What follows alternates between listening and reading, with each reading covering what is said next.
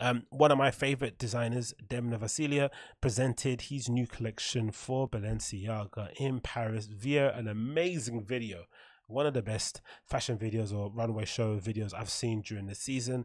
Um, just amazing. Again, I've got a bit of a hard on for Demna. I'm a big fan of him. You know, of course, from the work that he did at Vetements, that sort of blew up and shook the fashion industry to its core. And of course, he's now gone on to Balenciaga and established himself in a really clear and identifiable way um, over there, considering the heritage of Balenciaga. But he's just he's just gone about it in his best way possible. And I think I was thinking about it earlier, like why do I love what he does so much? It might stem from my obviously love affair with techno and the fact that he kind of you know, which I guess you know it's a it's an American export. You know, obviously techno was birthed in Detroit, but then it was completely changed to some other thing when it comes to Europe.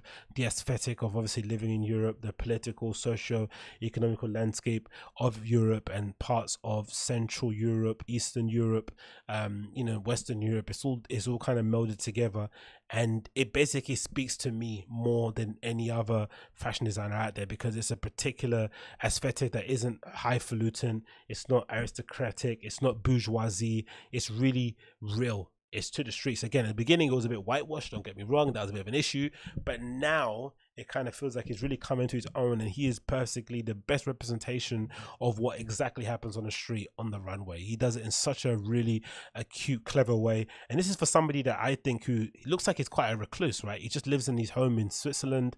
Um switzerland isn't you know switzerland isn't um like a scene out of flipping lehan or something right? It's a fairly nice place right? Um people there earn a pretty good wage. I'm not too sure how he has such a good ability to be on the button to kind of catch the cultural zeitgeist and present on the runway in some way, shape, or form. But he always does it. I don't know how he does it. Maybe it's just his genius, but he's like similar to Hedi Slimane in that regard, where he's able to kind of synthesize the energy of the youth and present it out there on the runway. And he did a really, really good job with his uh, spring 2021 collection here with Balenciaga. And I read a bit of the review here from Vogue by Sarah Mower, who agrees with me about all the good work that she's, he's doing. So it says, continues here. It says, Hope is the last thing to die. That's the Russian saying. That's the smart, the smasheroo of a remark Demna Gvasalia threw into a long debrief about how he got himself into making of the Balenciaga collection and video, which aired on the Paris Fashion Week schedule today.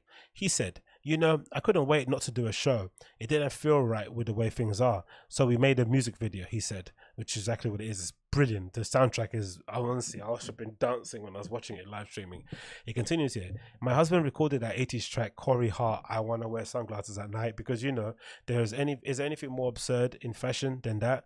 It's so allegorical. You know, there's fashion going on. It's out there, searching in the dark at the moment, not seeing perfect encapsulation of a, of a, of a collection, right? Perfect, perfect encapsulation of a, of a collection. But he continues. But wait, there's nothing disturbing about this video. Au contraire, Gvasalia's tribe of Demna nighttime people are each captured as if heading somewhere with a purposeful step. We see them as they walk along the Rue de Rivoli, um, is that Rivoli, uh, past the Tuileries gardens, I'm embodying exactly the inevitable core of the type of people who turn heads after dark on the streets of Paris. We clock them, we check them out, their clothes, how they put them on together, each to their own. They feel real, a, a visceral, vi- the vicarious vision of the modern glamour playing out against a backdrop of Paris we all love to be part of again. Yeah, and that was honestly one of the things I kind of um I had to sort of admit to myself. I remember when I was on the outside right, of the fashion world, sort of like you know mindlessly just like saying, "Oh, that's that's overrated. She's not good. That's crap." All this sort of stuff on the outside. When I finally got the chance to go to Fashion Week in Paris, especially for men's, when I got a chance to see, I don't know, it might have been the second uh, off-white show, right? I don't know what it, which one it was, men's show back in the day. It was the one where Ian Connor ran down the runway with Virgil and kind of pulled him down the runway, right? So whatever that show was, I remember going there and being around all the street style people, being around the industry, seeing all that buzz outside of a show, going into it, the energy, the music, the emotion, the textures, the sound, seeing stuff move. Because that was the first time I saw stuff move, right? Because seeing it on video on YouTube is one thing, but actually seeing it in real life, you get a better appreciation for what the designer is trying to do, what story they're trying to tell, and just what you like, right? You just you, you end up liking other things that you wouldn't have liked if you just saw it on a 2D image on your computer. So that's one thing I definitely realized. It's like, wow, this place is flipping cool, isn't it? Again, it's not the best place to go. It's not like a Berlin where you can just turn up and sort of find the fun. You have to be plugged in when you go to Paris, unfortunately, which I had the fortunate uh, possibility of doing so because of my work, but I did enjoy it more than any time that I enjoyed it because I got a chance to see how the other side lived. I was like, whoa, it's what people get up to when they go to Fashion Week. No wonder people come here all the time.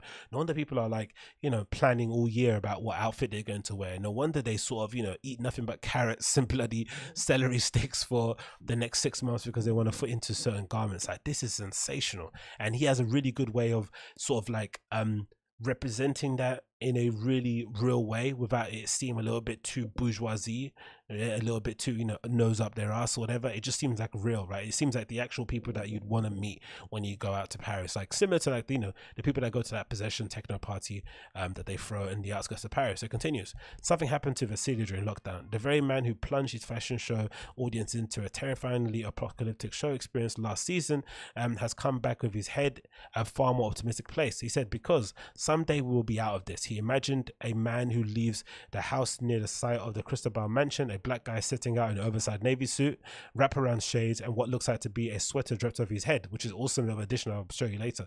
But it is a ready-made Balenciaga accessory. That's going to be really that's going to be really popular too. So definitely uh, keep an eye out for loads of your favorite K-pop stars and other stars and other industries deciding to wear that accessory. It's going to be really cool. It's sort of like a you know the you know when you go out and it's raining and you got to jump and you put it over your head, you sort of turn that into an actual hat accessory. I don't know if it's got like a little hat you put on there, whatever it may be. It looks really cool. So Gvasalia uh, related, he said he walked through the night, going through lots of changes, morphing into he, her, him, them, and they end up meeting as friends, going to a party or a club maybe, and everyone is without marks. That's the hope, and that's what I got from it too when I watched it. Because towards the end, you see them all meet up and stuff, right? And you're like, bloody hell, man! Like that's what you miss. Forget all the parties, forget all the amazing, you know, things that I was doing prior to lockdown. But I remember today thinking about, you know, going to open galleries and going to uh, viewings, going to conferences, uh, going to lectures, uh, you know, open workshops, hanging out with friends in the street and just gallivanting around, being lads that's what I miss, and that's what you kind of see from the collection that Balenciaga presented. So let's go through a bit of the shows here. So let's not make it too boring and read all the text. So this is the first look again with the the the, the sort of jumper over the head. Um, I'm not too sure how that clips on, whether or not it's a hat that you actually put on itself, but I love it. What a great accessory to use.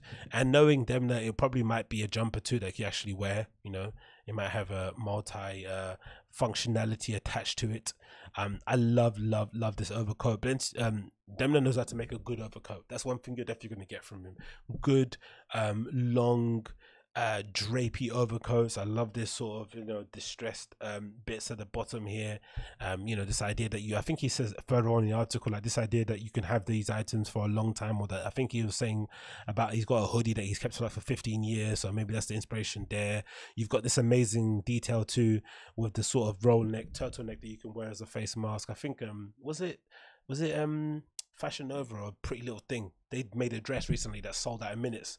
A sort of like short dress that you can basically pop over your face to put the face mask on. Um, this outfit is incredible. Great heels, of course. I love the choker on that one. Again, raw hems on the bottom of the trousers there and the shirt. You got the front cases that they do really well with. The all white look again is stupendous. The tracksuit look here is great. I'd wear the fuck out of this. This is the artist woman, right? Yeah. Um, really, really great. I love the shades as well brilliant looking shades, but that tracksuit is incredible. Um, I'd wear the fuck out of that. I love that as well. Oh, that cape. Is it like what is it like a cape? It reminds me of what some or something. Um, I don't know what. Yeah, it reminds like a, of an anorak, I guess, but it's extended, right? And, and an oversized anorak. That looks incredible. That is really really cool. And again, you got this amazing um functional shirt as well that you can wrap around your waist. You've got this amazing red look that looked really good actually moving in the video. And again, all these items, all these looks look way better in the actual video itself, right? That they put together for the collection. Um, again, the sandals look incredible. Good dress here. Zoom out a little bit. Great overcoat as well, jacket. And they always always do a good jacket. And then I think what's the other pieces I think I liked here? There was oh yeah, this one. This is the one. This is incredible.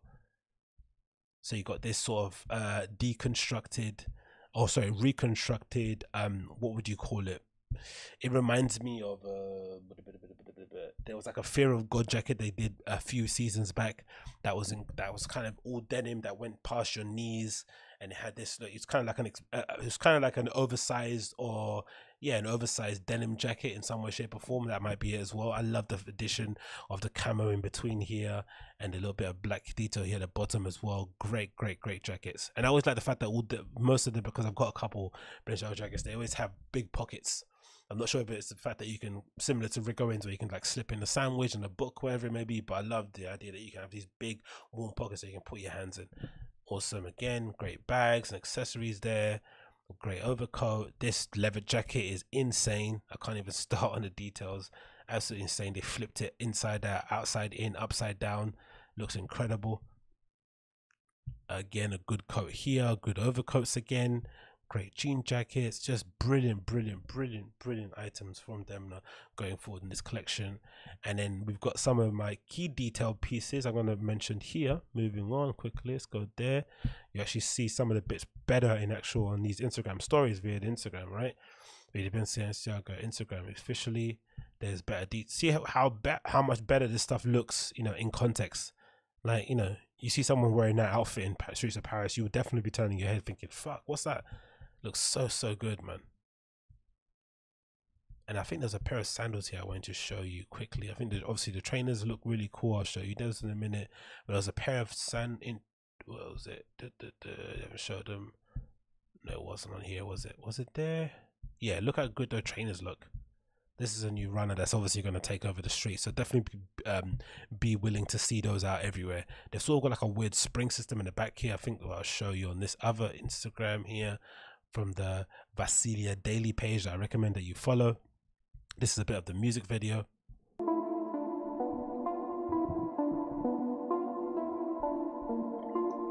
Looks so good, man.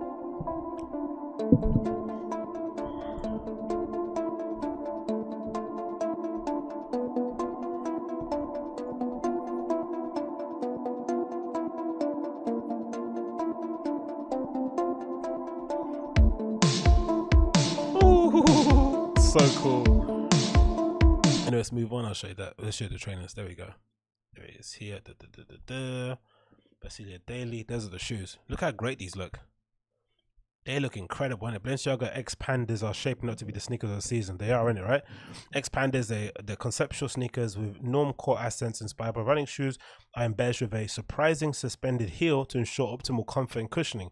Already a collector's item look at those at each show for Balenciaga Demna creates the new it sneaker at all its fans for spring summer. This is the one. Yeah that is amazing. I'm all over that one in it that's probably the best thing they've done since the triple S I think. That it looks great.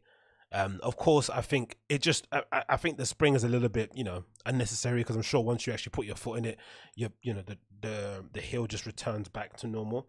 So it's sort of like you know has whatever shape it's got there but they look great don't they? I wonder what the pricing will be like they look amazing. I can't wait to see what the other colorways of those look. But yeah, one of my favorite collections going forward, man. Honestly, um, easily, easily one of my favorite collections for my best, for one, I think one of the best designers out there on the scene at the moment. Demna Gvasalia for Balenciaga. Take it, Balenciaga. Sorry, Balenciaga. Check it out. Don't be stingy. Spend some money with him.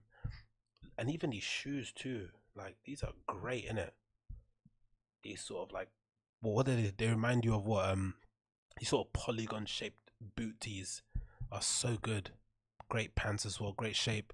He does that often too, and I, I love the fact that he, he refuses to do like cuffed bottoms on his jersey bottoms. That's one of my pet peeves.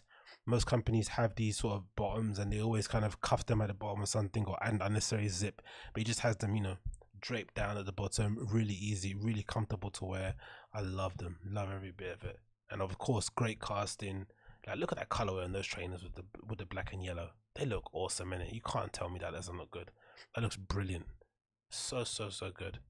I can't wait to see more of this in stores when they're out. And of course, he's got the jumper over the head. Again, I'm not sure if it clips on or stuff, or if it's something that you actually wrap around your head, how it sits on your head properly. But I love it. I love that little detail. I can't wait to see um, people wearing that in the scene when that comes out um, next season.